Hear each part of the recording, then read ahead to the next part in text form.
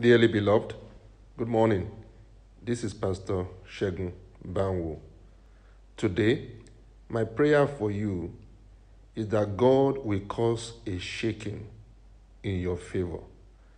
It is written in Matthew 28, verse 2 And behold, there was a great earthquake, for the angel of the Lord descended from heaven and came and rolled back the stone from the door and sat upon it.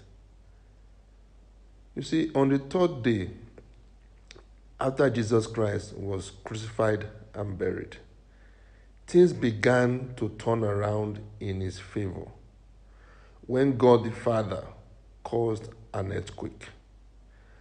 I am believing God for you that a shaking will occur in your family or in your business or in some other aspects of your life that will rearrange things in your favor. When it seems that all hope is lost, I pray that God will intervene miraculously in your favor. In Jesus' name, amen.